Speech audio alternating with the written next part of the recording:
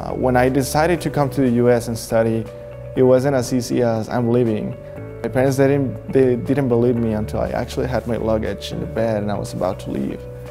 That's when it hit them that I was serious about this dream.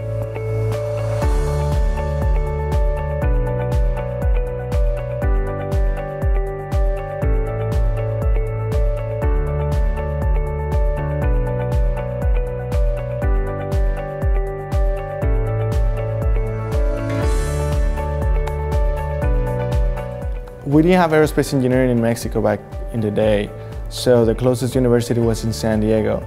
In order to get here to Georgia Tech, I had to go to a community college first. So I went to San Diego City College. I didn't want to give up my dream. I, I, I really wanted to study aerospace engineering. I really wanted to come over here and, and get the best education I could. So I decided that I will keep this dream going even if I had to cross the border every day to go to school and live in a different country. Uh, and I started living with my parents again.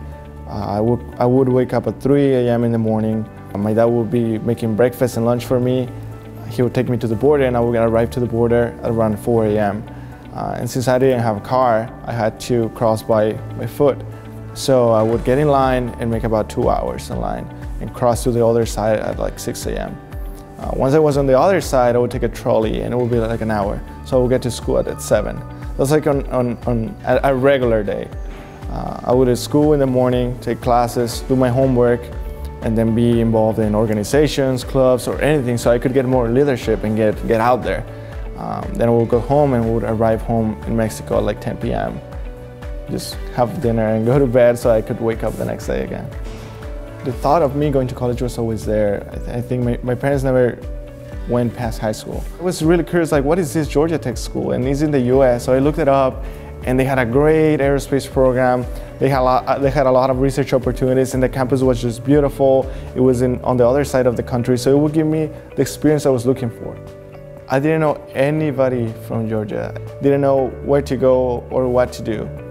I just, I think I didn't even have a, a, a bank account or anything. I just had cash.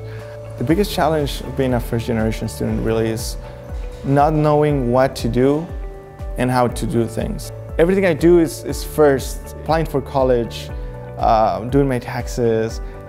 Everything I've done here is a first for me and for my family as well.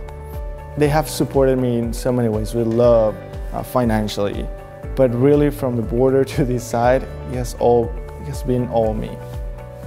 And that has been the hardest thing because really I don't have a net in which I could just fall if something goes wrong.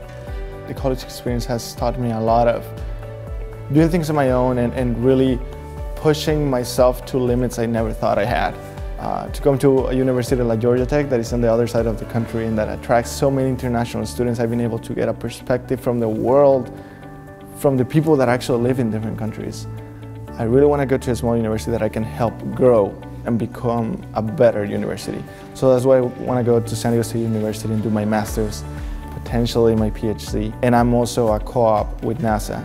So I will be working with NASA and doing my master's at, at San Diego State University and then eventually just become a full-time employee at NASA.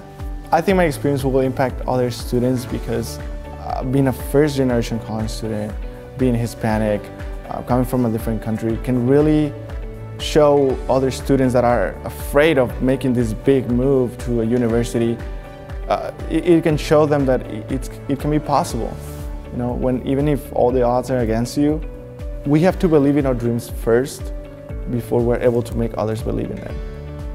And it's very important that they stand for what they believe in, what they want to do, and to teach them why they want to do the things so that it could support them fully in this new journey.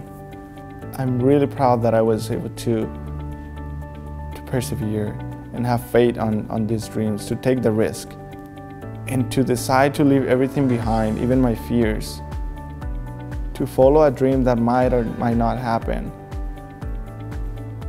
And being able to do that, to cross the border every single day, not knowing if it was gonna be worth it or not. I'm, I'm really proud that I was able to, to keep going regardless. It only matters that you really want to do it. It doesn't matter what everybody else says. It only matters what you want to do. I decided this path and not a lot of people take it. Even I think, how would I cross the border every day? Why did I do it? Because not a lot of people take the risk because they're afraid they might not accomplish. But I realized that anything and really any dream can be possible if anybody puts the effort into that dream.